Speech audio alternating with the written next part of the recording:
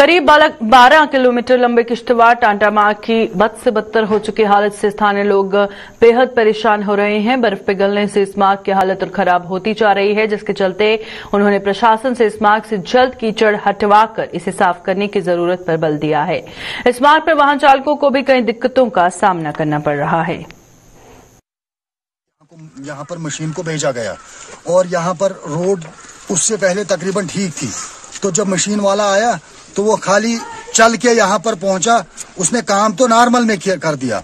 उसके बाद जो बारह फटाई इधर से और जो जो इधर उधर का मालबा था, वो भी इधर रोड पे बिछा दिया। और साथ में यहाँ पर हम उसको जमा हो गए कि इस रोड को अच्छी तरह से क्लियर करके दे दो।